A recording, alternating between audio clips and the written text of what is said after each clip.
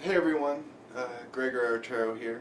It has been a while since I think I've really engaged the camera and, and said hello to the world and shared my perspective or my insights into reality or just my current state of being. But uh, 2013 is almost up and this is the, the year where I've had the least amount of videos posted since I started my YouTube channel. There's been many reasons why. It's been it's been a year of letting go. Some of us have said, and uh, letting go of a lot of things I usually held on to, and how interesting things are coming back in my life. The simple thing being, I got my license back two weeks ago. I haven't had for eight years, and that has been a fundamental aspect in influencing my life. There's a story behind that. And well, the winter solstice last year, I hitched out to Sedona and I think I, this is was put on my YouTube, and uh, interesting things basically started to happen from that moment on. And uh, went to Sedona. I went and spent time with Elizabeth Rauscher, who wrote in the Sims Parents, the Resonance Project, down in Phoenix. Um, have a, had a wonderful time with her, and it's an interesting to start out with her in that I've met a lot of people in my travels, and uh, people working in the free energy movement and toward uh, raising awareness and consciousness. And there's of course a lot of ego afoot, including my very own. And there's this whole Saturn returns I've been experiencing lately. The thing about Elizabeth Rauscher that intrigued me so much is she's she's I think she's at least 70. She worked at Stanford University, PhD in, in physics, uh, one of the most brilliant people I have ever met. Actually, she is the most brilliant person I have ever met on the earth plane. And the irony is that she's a female and she's a physicist, and she doesn't compare to any scientist I've ever met. And I was able to talk with her about my own theories and, and Tesla's work and uh, other fringe concepts, and we were just clicking the whole time, just clicking. And uh, I was, I was getting light bulbs popping off in her head. And the, the day she picked me up, we went to Taco Bell. And I, I I gave in and got a bean cheese burrito. I think it's the last time I've ever had fast food. I mean, before that was a while, but I was with Elizabeth Rauscher and I wasn't going to judge her. And that's sort of the thing where I'm bringing up about judgment is her having her Diet Pepsi and her, her uh, beef tacos it's a little Atlas. Hey, Atlas. And uh, her intelligence was unsurpassed, her, as well as her compassion and her humor. And she was such an alive human being. And we put all these stereotypes upon people um, in terms of their appearance. And the beauty in her was unsurmounted upon what else I've seen on the earth plane. And so that gives me a reference point. It gives me a reference point for who I want to be, for who I want to embody. Have I seen this in other vegetarians or meditators or yogis? Uh, no, not really. I saw it in a classically trained physicist who is destroying herself with aspartame and, and her diet, but at the same time her will her soul. It doesn't, that's not part of the external. It's not part of the reality. It's, it's something else and it's so powerful. And so, where it then led me uh, from her place is I ended up getting a ride share at Ashland, Oregon, and uh, got offered a job working for a for a research firm, Thrival Tech. And what was interesting was uh, like right after getting the ride to Ashland, like within an hour of getting the confirmation from the Craigslist rideshare, that my, my roommate back in Asheville, North Carolina, had packed up all my stuff, moved into her basement, and wrote me a letter, an email, to let me know she had done this and that her son had moved in. And I was officially homeless, and I was very perplexed by it. And really never gotten any closure about that. And I think that's what 2013 has stirred up is there's been a lot of things that have been hard to find closure in. And so one with, with my closest friend in Asheville, um, as well, no, Tree's my closest friend. I love you, Tree. Good chance you're gonna watch this. Actually, Tree deleted Facebook. A lot of my good friends are deleting Facebook, so who knows if they'll they'll catch this. And uh, uh, but she was the, my friend I knew before I moved to Asheville, and uh, it left a sore spot. And There's been lots of sore spots with many individuals, which comes down to like disappointment, disappointment in them, and also disappointment in myself. And when I went to Thrival Tech, they offered me a job. And It was the second time they offered me a job. I I went. Uh, they'd offered me one before when I had come and visited them the first time after visiting Nassim on Kauai, and uh, they there was basically said there was 10% of you know the over Unity budget to go to other research, and that the rest is pretty much for proprietary research, which I'm not allowed to talk about due to uh, non-disclosure agreements and all that mumbo jumbo, which in my opinion just keeps increasing fear. And there's a lot of fear associated with the free energy movement, and personally I'm getting sick and tired of it. Uh, it's destroying it. It's been destroying it for years, um, even though there is a huge surge taking over the past two years um, moving forward. And well, one of the things um, that sort of happened is I ended up, all right, I'll take the job. I moved there and I started working, and it was really about me having a facility and tool and resource to help move forward my research, my projects, at the same time collaborating with others to help support their projects and maybe find some cohesion on a unified project because that's not really what was happening. Um, because the proprietary technology was not my specialty. And so I pretty much became a bitch and started doing all the electrical work and infrastructure work for the facility. And I started working on a project making high voltage test bench, three phase with a 7.5 kilowatt transformer, which I really would like to purchase from them uh, for the original purchasing price of $400. It's a pretty beautiful transformer. And it's just sitting there, not being used. Uh, but I, I mean, out of oh, over three million dollars going through that place, I was allocated uh, less than a thousand um, for my work, and uh, it was miserable. It was absolutely miserable. I, I, mean, I'm an electrician now in Boulder, and I'll, I'll get to that. But I wake up and I don't. I'm not miserable to go to work. I'm really not. Um, I actually enjoy it. Um, even though I would prefer to be doing something else, I do enjoy going to work as an electrician. I'd never really enjoyed going to work at Thrival Tech. I'd wake up in the mornings be like, I don't want to go. Why am I doing this? And it felt so off key and not right. And that's why I turned down the job the first time. But I took a sign from the universe that with the rooming happening, that this is this is where I'm supposed to go. And uh, the first week I was there, one of the things that this cycle keeps happening in my life is agreements. And what are the agreements between people and, and how, how we work together. And I've had verbal agreement after verbal agreement after verbal agreement after verbal agreement broken on me. In my opinion, and it's not necessarily true, but in my opinion, from my perspective, uh, I haven't broken any of my agreements. I've, I've, I've honestly lived up to them. Uh, and the only, the only point where my agreement broke down with Thrival Tech was probably the last two weeks of working for them because of the bullshit going on. But I asked the first because there I needed an agreement. I really need a solid agreement. And I never got that agreement. I technically got fired over that agreement. I got let go um, for a one to two month leave and, and with the opportunity to come back on after having this sabbatical. And the moment I was told, I said, fuck you, I'm, I'm out of here. I'm, I'm so done with this.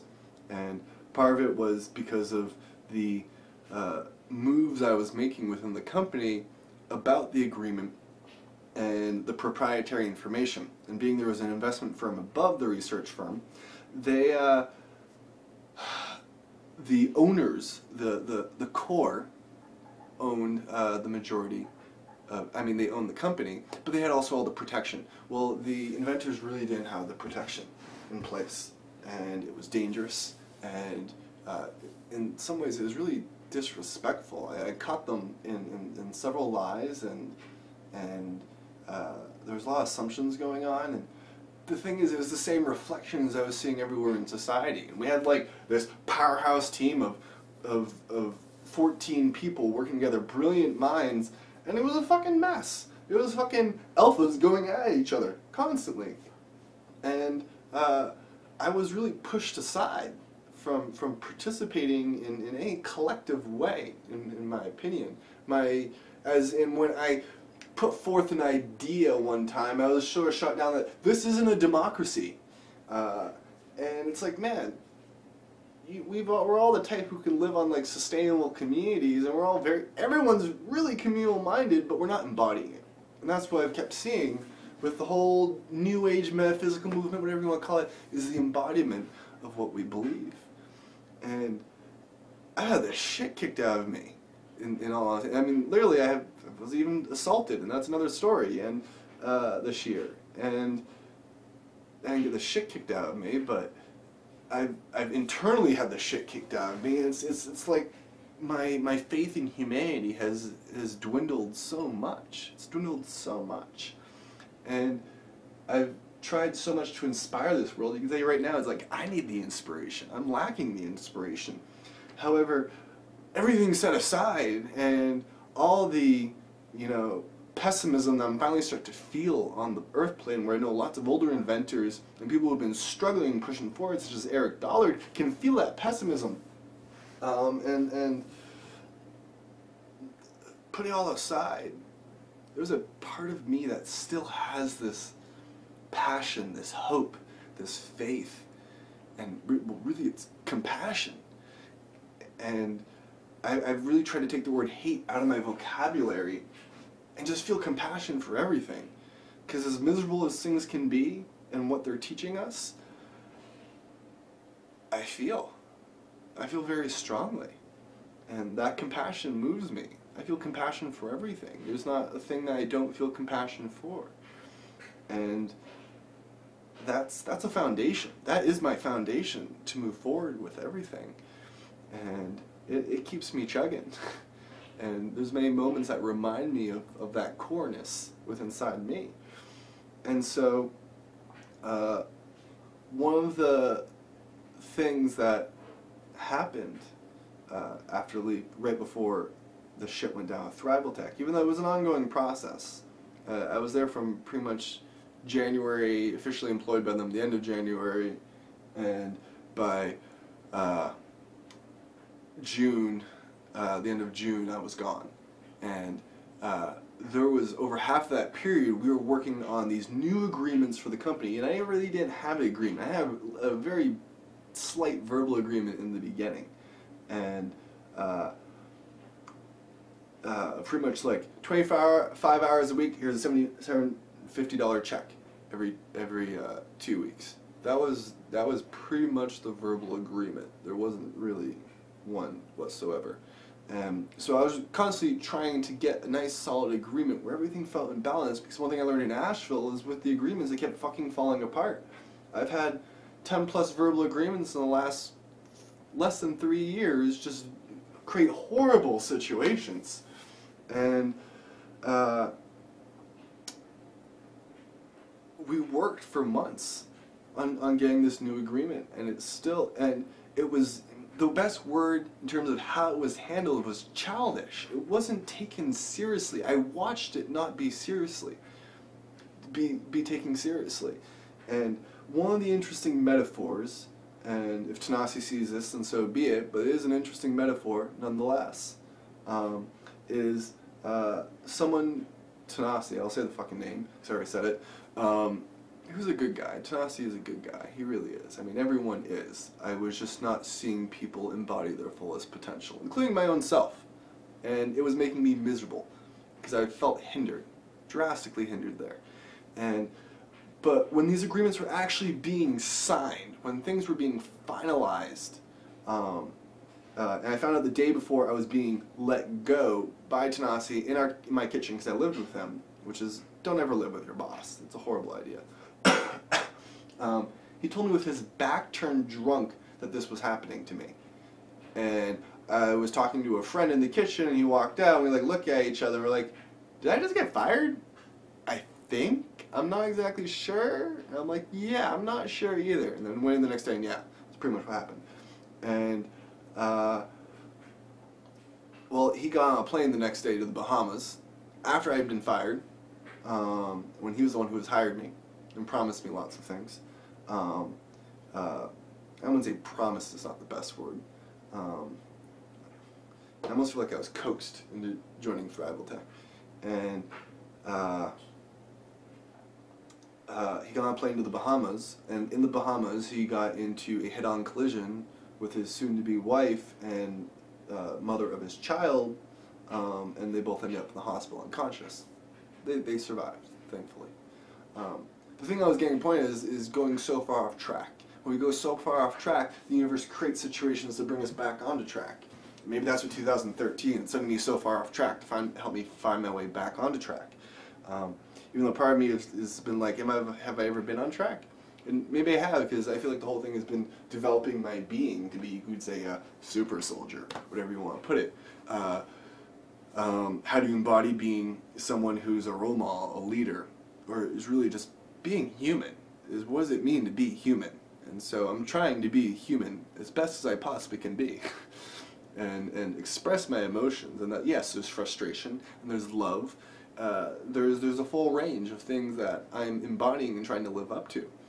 And what happened uh, a month before I left is I, I, met Bruce Perlowin, known as the King of Pot. He uh, imported more pot into the West Coast than anyone else in U.S. history. Went to jail for nine years, got out. He met his his his now ex-wife Lana, um, who's ex-KGB, uh, was personal guard to uh, not Putin, but one of the leaders of Russia back then, and uh, and he started up a legal business, or so I think, um, and uh, he does penny stocks. Which My brother says always involves lots of legal things, um, and he's told me not to trust him from the beginning, and. Uh, I had other people be cautious about Bruce, and he was building a 800 person community out in the desert of northern Arizona, Dolan Springs, um, based off the Anastasia books, Kin's Domains. And he was based out of Vegas. And that was very tragic. That whole experience was really fucking tragic. And there was six weeks out there. And so when I left, I went, took Bruce up on his job offer and went to go work for him. I worked for 250 bucks a week, um, working my ass off uh, in the fucking desert. And I, uh, um, it was fucking miserable. It was one of the most miserable points of my life. Uh, and because the amount of bullshit I, I, had to deal with. And sort of like what happened with both of these jobs is I technically got like politically. Politically is the best word fired. It was a political move. And I had so many people wanting to get me fired. I've never had so many people like hate me and and it was it was ridiculous. It was very political. It involved lots of money. There were millions of dollars at stake in this project. I was getting earned 250 a week because I was trying to be humble to help the project move forward. And I took a role as as uh, um, site manager out in Dolan Springs because I could see right away that as if I didn't step in, this project was going to fall apart. And um, I got physically assaulted by an ex-CIA agent, and then I got the worst verbal assault of my life by Lana, the ex-KGB agent. And the next day she came to me after flipping out on me and crying and saying, I can't believe I was such a bitch to you. I, I just can't believe I was such a bitch yelling at you because you were such a nice gentleman. I've never yelled at someone like that and you just stood there and just continued to be polite. And she was shocked. And honestly, that was like the the nicest thing someone had said to me the entire year in relation to me and how I feel about such a statement like that, let's say. Uh, but I'm a good soldier. I'm a really good soldier. I'm one of the best soldiers that she has ever met in her entire life. And she said I could stay at the Dolan Springs house for the rest of my life if I wanted to. And uh, that uh, when Bruce found out that Lana liked me, that infuriated him and immediately led to my dismissal, even though it was already in the works to dismiss me. And what was dismissing me? Uh, it was me not getting paid that week and bringing me to a bus stop with my girlfriend Kate in fucking Las Vegas and leaving me there with our cat. That was that was us getting fired. We had no vehicle, um, and it was absolute fucking betrayal by him, by my friend uh, Freed Khan. I'll say it, Freed, if you see this. He's been trying to contact me. I've been ignoring him. I've never been so disrespected by a human on this planet. Something I'm personally trying to work through. And uh, all this I'm talking about is, is, is the disappointment. This brings up cycles of Atlantis because this is what I feel with Atlantis. I feel betrayal. I feel dis- disappointment. I was working on these big projects and they just keep falling through again and again and again. And uh, I, I, I remember the day the day night before I got assaulted the day before I got assaulted um, by by this ex CIA agent, which was really intense when that went down. It was really fucking intense.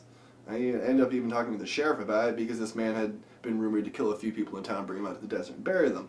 And so there was a lot, there was a lot of fucked up shit going on in Dolan Springs. Six weeks of my life, that is a chapter in my autobiography and what the fuck went down in Dolan Springs. But I remember telling Kate the day before I got assaulted, I was like, Kate, I have no fucking clue what could happen tomorrow.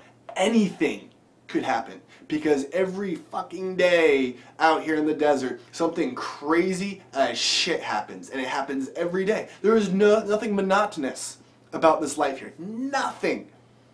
It's funny because we're in the desert, but every day something crazy happens, and it's just consistent, consistent, consistent.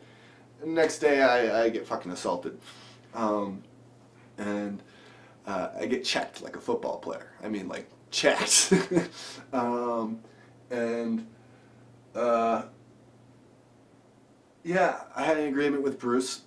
He fell back on the agreement. Like he just kept like stripping out things from the agreement.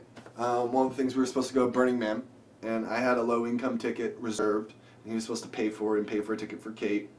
No, he pulled the tickets from us. We didn't go, and he went himself instead.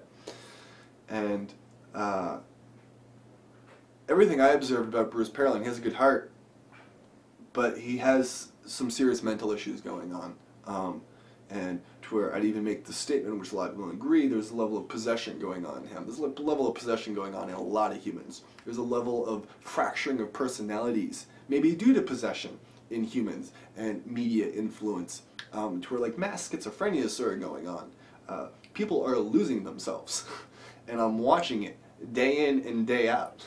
I'm doing really good at being me, really good, and being present and calm and enjoying the moment.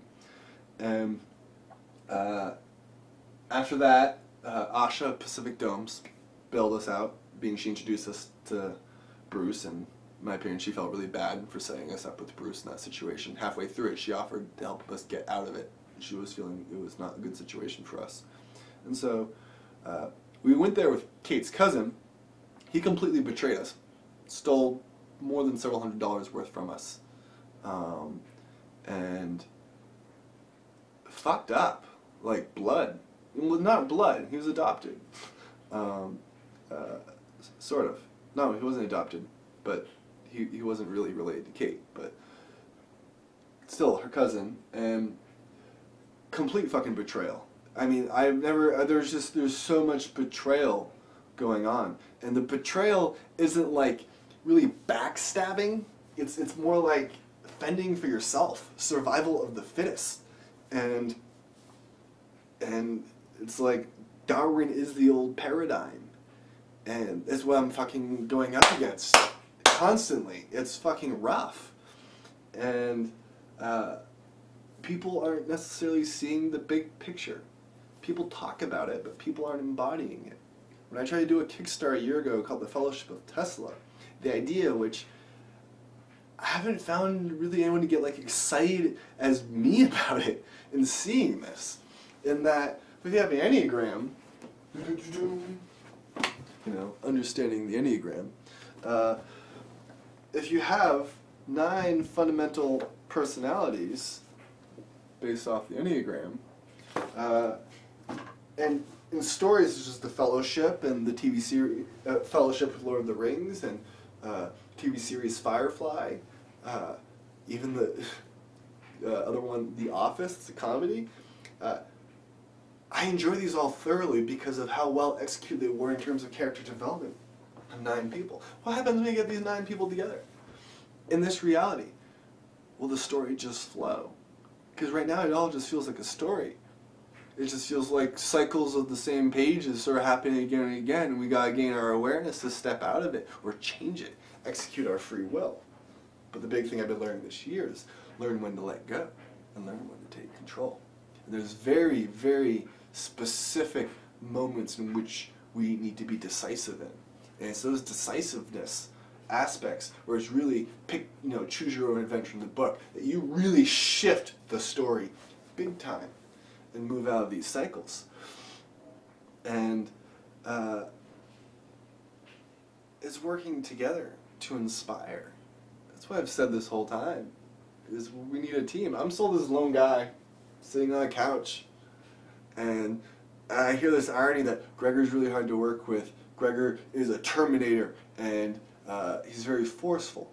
And I'm actually pretty down to earth and relaxed. And when people see me get passionate and become the so-called Terminator, it's because it is those moments that we need to be so unbelievably decisive in. Because if we are not decisive, that cycle continues and it continues and it continues and we, we live in the same misery until we learn.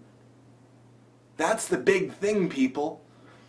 Is there specific moments we need to be decisive in that come from right here. So that's what I'm talking about with embodying the compassion and feeling the compassion. Because when you do, in those moments, you're going to change something. You're really going to change something. And so sometimes I really fight to break those cycles. And sometimes I don't really know how to do it effectively. And that's why I gotta live it again and again. Groundhog's Day, baby. Until we fix it. It's really not fixing it, it's realizing it, it's implementing it, it's embodying it. And so what happened, you know, Asha built us out, brought us back to Ashland for a couple weeks, and uh, she asked us this fundamental question, where do you want to go? And well, Boulder. Boulder seemed like the right place to be at the time. And uh, Breakthrough Energy Movement was there. Boulder was the biggest talk of the town in the country next to Asheville. Um, Asheville was always second. Um, but Boulder just kept popping up. And uh, Kate and I ended up here on the day of the flood beginning, like uh, September 11th. And we get here and it's just pouring, and it just keeps pouring. We're in our friend's apartment downtown for an hour, starts flooding. And uh, worked for, got a job within a few days working for Ecos, doing disaster cleanup frustrating as hell. I can't even tell you how frustrating that job was, uh, mainly because the foreman was a Jehovah's Witness and the company was run by Jehovah's Witnesses. I was going to say nothing against Jehovah's Witnesses, but you could say I have some friends growing up who've, uh, who are no longer Jehovah's Witnesses, but they have even their own built-up emotions for how that influenced their life, and I know how it influenced them, and because they, it causes me some frustration, but I have compassion for them and what they've experienced. And uh, I did not like working for them at all. And I did enjoy the $16 an hour and the overtime with it. And uh, anyways, um, first day on the job, I met this guy, uh, David Rusky, the electrician, who gets contracted out by them. Works for a company called Positive Energy, which I thought was just really interesting, you know, with Tesla and positive energy and even though he didn't really have a correlation between it. He just thought, you know, being you know, positive energy, like how people would use it colloquially. Anyways, he uh, told my background and that that was sort of my idea with coming to Boulder was just an electrician job. And I was almost saying, fuck free energy for a moment because I am tired of a lot of the people I've been working with and the bullshit and the misery it's been bringing to my life. Because that's the challenge of, of coming up against the old paradigm. Tesla dealt with it. A lot of us have dealt with it who have taken that challenge. You can say that's the right path. and I, I've stretched my resources so thin to move forward these endeavors that I really haven't taken care of myself. And uh, I, I I've wanted to. I want to know what it is to you know like really be human, you know, or you could say American. Just have a nice home. Don't worry about the daily, even though money is still a worry on the daily. I mean, that's the economy will collapse. It's not an if, it's a will, or it's a when, really. And um, it is non-sustainable. And and so I've just been working this job and enjoying being an electrician and talking to customers, and I'm good at it. I like it. And uh, nothing really exciting has happened in Boulder, in my honest opinion. Sort of been stagnant here. And uh, BEM was awesome. I got this job offer, which is sort of, sort of been flaky, on Topanga Canyon, California, um, with Russ Grease. And he's definitely much more interested in Russ than me, as I'm, you could say, more of a Buckminster Fuller, Walter Russell type. Um, and uh, with the cosmology, systems theory aspects. Um, and uh, I haven't built a shit ton of stuff, nor have I succeeded really at building anything. Um, besides, what is it in my pocket? This inert coil, this lovely coil that I used to talk about so much about, and still I understand them more and more all the time, and uh, I, I've been doing lots and lots of research and studying, um, absorbing as much information as I possibly can, and figuring out how to perfect a system. Uh, but Breakthrough Energy Movement was nice. Um, I didn't spend as much time there. Seemed like everyone who got to go there was just like there, but because I lived in Boulder, I there was just work and other things going on. I got two of the three days off, but not one, and um, I, I've definitely been physically, emotionally, and spiritually drained this year more than anything. And uh, I've been trying to figure out internally how to change directions with that and, and, and move things forward. Uh, but I don't know what's next. I really don't. I'm finishing up, I've been uh, working on the lecture from Breakthrough Energy Movement. The video and the audio is really good. Some of you have probably seen it. Um, Russ uploaded the live version of it. Um, uh, about the higher quality video and audio and, and adding lots of animation to it. Um, I got hung up on one thing I said in the presentation wasn't necessarily true and it was a theoretical thing that I had been meditating about like the past few weeks and then it made me meditate on it a lot the past few weeks sort of halted that video editing to where I'm like got a grasp of how to spin it with animations and, and make sense of it um, and which involved dimensional theory. And uh, there's the idea of, of getting an Indiegogo together. I feel like I'm at a loss for words and actions. I'm just I'm just present. I mean that's sort of like the core of everything with me now. I'm just present, observing, experiencing reality, not as participating as much as I used to be. Um, and I want to. I really do. And I don't know. Maybe that's where I said in the beginning. I need the inspiration right now for once. Um, and I'm now on a, a farm, a 37 acre farm. Uh, there's there's a workshop. There's greenhouses. I really don't have money to invest in things. I really don't have my tools here yet. But my friend Tree is bringing them out from Asheville. Um, uh, I still don't really have a, a, solid foundation to move forward with any technology. Um, and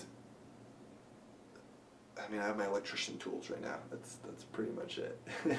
and my grinder. I got my grinder, my two blacksmithing hammers, but no anvil, no torch, no fire. Um, and so I'm, I'm going to be making an induction heater. And uh, the three big things that I have been working on is still a Tesla tower, a working coil system, and one thing I haven't talked about much is, is this plasma computing system ternary computing system that I was working on with FreeCon, and I felt like he fucked me over out of. That's another story. Um, uh, he's someone who worked with Marko Rodin as well, and uh, that the how you can make a, a transistor vacuum tube entirely out of plasma, and how you can create uh, basically an environment that's like a processor, a plasmatic environment, a plasmatic brain that's uh, able to do switching um, at light speed and at the same time uh, being able to fractalize, being able to create a fractal, a, fractal crystalline computing system. Um, so these are all theoretical things, um, but I, I, need the space to really execute them. I need the budget. Um, I'm tired of really half-assing things. half-assing just sucks. It's just a waste of time. It really is. Um, I'm good at it though. I am. Definitely am. I know how to be resourceful. And uh, but one of the projects we're engaged here is I just made a 3D model of a, a hoe, uh, garden hoe, not the slutty kind, and uh, uh, based off Schauberger's concept of using copper tools, and uh, we'll get the 3D model printed and then uh, make a mold of it and then cast it with induction here to make bronze. Um, ideally it'd be beryllium copper, but it's really expensive, but super fucking strong, and retains more of the, the uh, copper color than bronze. Um, and, and then working on a wire filter, it's not really what I want to do.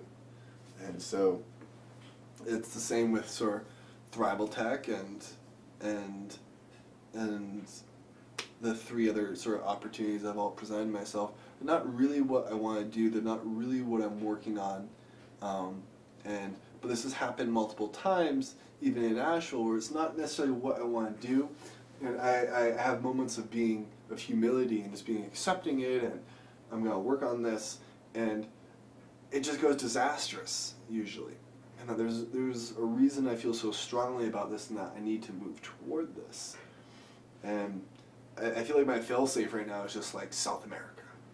I just, I just need to go to South America. Um, my eyes particularly set on southern Chile right now.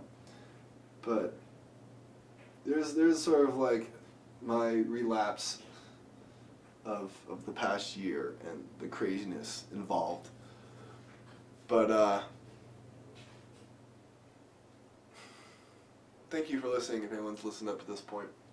Uh, that's just my, my download on the situation and the characters I've involved myself in.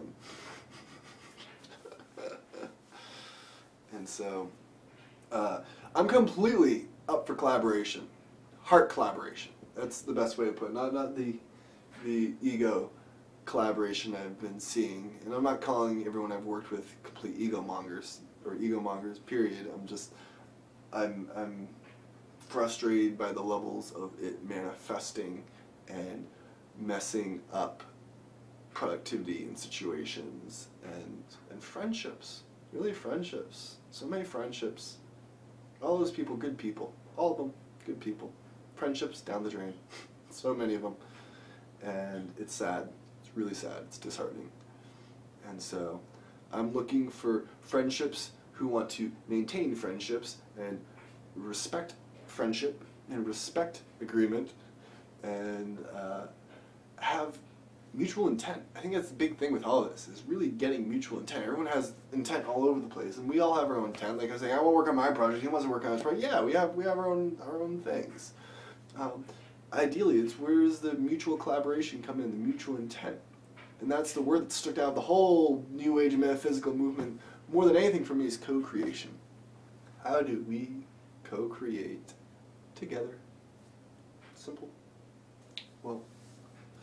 I love you all. Thank you for those who have listened up to this point. And I'm open to anything, really. Uh, the place I'm staying at is really cheap. Uh, at the moment, it's working out with this guy Scott and this business venture. I don't think it's going to work out. Um, uh, I was going to have a friend will come out from Maine. I, I don't think it's happening now. Uh, and he was going to possibly try out the farming managing position and this house is for the farming manager, and so there's no farming manager, we're going to be moving out. We're probably moving out January 17th. And so figuring out what the hell we're gonna do. Um, and probably gonna stay in Boulder. Probably gonna stay in Boulder. Um, West Coast, Fukushima, not looking so good. And uh, I don't know. I'm not in the right place. You'd say that's one thing I feel. So, uh, I want to be in the right place. And, really, what that is is just being surrounded by loving individuals who want to collaborate on daily being and projects. You know, good food like this aloe vera fruit juice. This is excellent. I just made. Mm. And I got this new juicer that's sort of like the new slow upright juicers, and they span like 80 RPMs, and so your juice can sit. Like some of you would be like, oh, felt that saying all the enzymes are gone. Not this type of juicer. Lasts for a while. I'm, I'm very thankful um, having juice back in my life. I'm enjoying being a vegetarian and mostly vegan, mostly raw. But definitely, definitely being vegetarian. Someone just honked the horn out here on the farm, middle of nowhere. Hmm. And, but yeah, I would just love to wake up to happy people. There you go. That's what I want. I want to wake up to happy people. Ciao, everyone. Love.